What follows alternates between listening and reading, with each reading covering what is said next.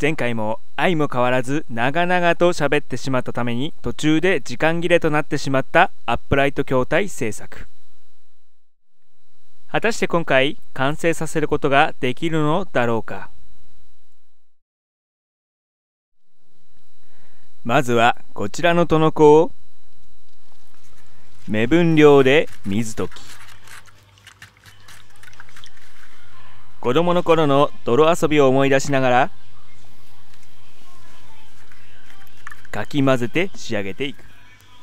試しにヘラを使ったものの塗りにくかったためハケを利用。耐水ペーパーで全体的に広げ半乾きになったらすり込むようになじませていく。どの子が乾いて材料になじんだらいよいよ塗装を行う。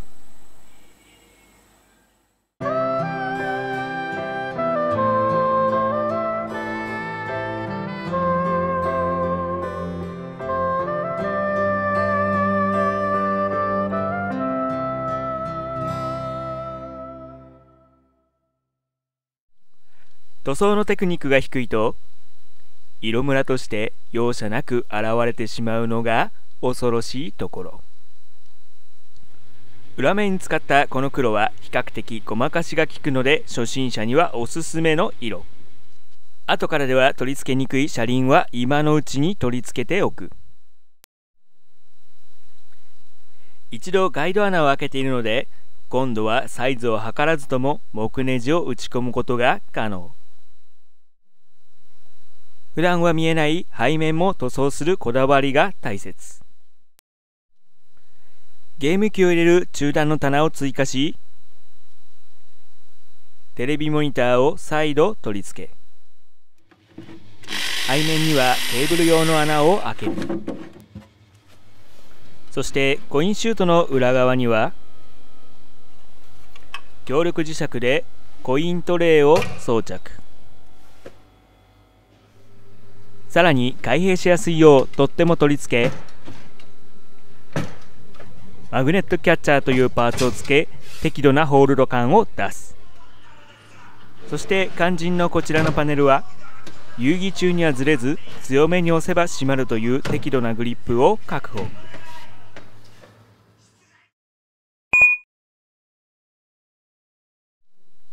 マグネットテープを取り付けたプラ板をアルミテープで囲い本体にも同じ位置にマグネットテープを貼り付け。あとは紙を挟めば完成。続いては小口面の白い部分が目立っているので補修テープを利用して見た目のグレードアップを図る。わずか100円にしてはその効果は抜群である。タイトルパネル用のスイッチと配線はプレイヤーから見えない位置に配置。本体下にはプレイヤーの足元を優しく照らす明かりと上部ではタイトルパネルがその存在感をアピールしている。今度はこちらのパネルにドリルで穴を開け小さいジャブ台のような台を製作。大小のドリルを使い分けながらコントロールレバーを台へセット。ホールソーという道具で穴を開けていきゲームボタンをセット。裏側は付属の専用ネジで固定。幅を調整しながら他のボタンも取り付ける。今度は画像編集ソフトでパネルをデザインして光沢用紙にプリントアウト。先ほどのパネルに貼り付けたらネジを使い上からアクリルパネルを固定。デザインした用紙もろともアクリルパネルにドリルで穴を開け保護用の薄いフィルムを取ると光沢あるパネルが姿を現す。一度外しておいたボタンやレバーを取り付けると見た目は本格的なコントロールパネルであるがこのままでは飾りに過ぎないため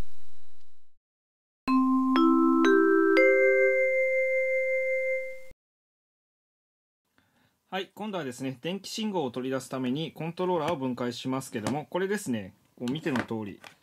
アナログスティックがですね、壊れちゃってます。ただ、これは使わないので、これをね、再利用したいと思います。じゃあ、まずはね、分解します。はい、ネジを外して、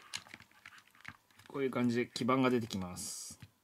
はい、えー、蓋を開けるとね、こうやってパーツが出てくるわけですけども、まずね、アナログスティックは壊れちゃってるんで、これは外します。それからですね、これ、モーター何かと言いますと、振動モーターですね。えー、音楽に合わせたりとか、えー、それからですね、敵からダメージを受けた時なんかにね、こう震えたりするんですけども、これはですね、大きい、えー、振動とちっちゃい振動。えこういうね、パーツになってるんですけども、今回はね、これもいらないので、え外してしまいます。はい、えー、コントローラーをね、分解して、えー、いよいよね、基板だけになりましたけども、これどういう仕組みかと言いますとですね、こちらにアップとかね、レフトって書いてますけども、これがですね、えー、コントローラーのね、実際の、えー、電気信号を通す部分になってます。で、え、ー、と、この部分がですね、炭素になってまして、まあ、鉛筆の芯とかですね、えー、電気を通しやすい、え、材料になってます。で、こことここがですね、ボタンを押すと、え、中ね、こういうゴムが入ってまして、例えばですね、上をこうグッと押すと、ここのね、え、ゴムの裏に、え、電気をね、通しやすい素材が入ってまして、こことここのね、えー、スイッチが押されて、電気が通ることによって、え上ボタンが押されたという、え判定をします。はい。そしてですね、よくパターンを見ると、ここと、ここ、それからここ、で、それから、ここの部分が繋がってますよね。で、ここはですね、よ、えー、俗に言うグランドという部分で、ここと外側が繋がればいいという風になってますので、え、ここのね、共同になってる部分にまず一つ。で、反対側に、えー、のこっちとかね、こっちに、えっ、と、電気が通ればいいので、えただですね、このままだと、えハンダ付け、実はですね、この炭素の部分ってハンダ付けできないんですね。炭、あのハンダが、え流れてしまいます。なので、ここによく見るとですね、いい感じに丸いスポットがあります。で、ここにハンダ付けを行います。でですね、よく見ると、ここにね、なんかちょっとコーティングがあるんですね。こういうものをドライバーの先っぽとかでね、ちょっと剥がしてからやると、うまくハンダ付けできますので、自分でもね、やってみたいっていう人は、こうやってね、分解したコントローラーの、こういうね、ちょっと、えー、ハンダ付けしやすそうなポイントをこうやってね、ちょっと辿ってみてですね、こういうとこでもいいかもしれないですね。こういうところの、ところの、ちょっとね、えー、上に塗ってある薬をですね、ちょっと、えー、ヤスリとかね、えー、ドライバーの先っぽを使ってちょっと怪我に注意してもらいながら、剥がしてやるとうまくハンダ付けできます。はい、上についてるね、コーティング剤を剥がしたんですけども、えー、普通だったらね、このまま、えー、ハンダ付けしてもいいんですけども、今日はですね、えー、ちょっと一工夫します。えこのケースにですね、こういうプラグをつけていきます。はい、えー、こういう感じのね、えー、プラグをつけたんですけども、これによってですね、好きなようにコントローラーのね、配線を、えー、変えられるようになるという道具でございます。はい、それからですね、後でこうやってね、こっちのケーブルが引っ張られた時に、え、ケーブルがね、切れてしまわないように、ここにね、一回、え、結び目を作っておくと、え、壊れにくくなります。ではですね、え、頑張ってハンダ付けしていきます。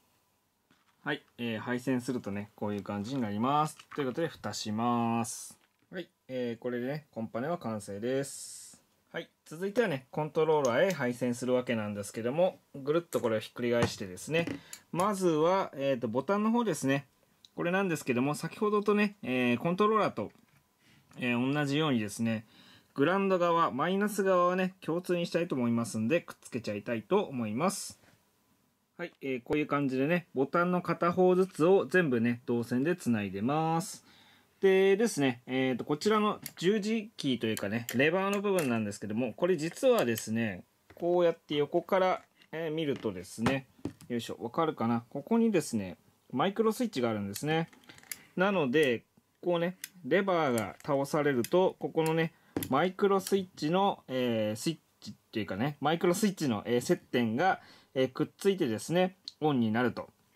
いう仕組みになってます。ということでですね、えー、十字キーというかこのレバーの部分は、えー、金とね、銀の部分があるので、えー、まあどちらでもいいんですけども、今回はね、銀の方を、え、グランド側にしましたので、え、銀の方をね、こうくるっと一周繋いでおります。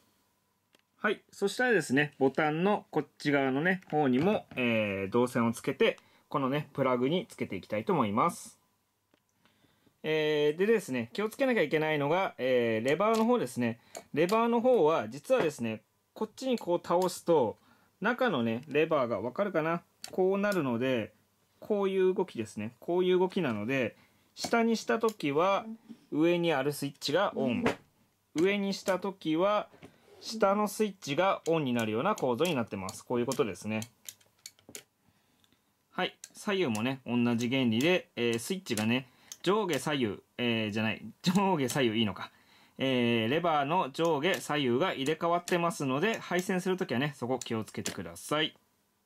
はい。えー、ということで、裏をね、こういう風にハンダ付けして、こっちにね、プラグをつけると、こういう形になります。ピンポンパンポン注意事項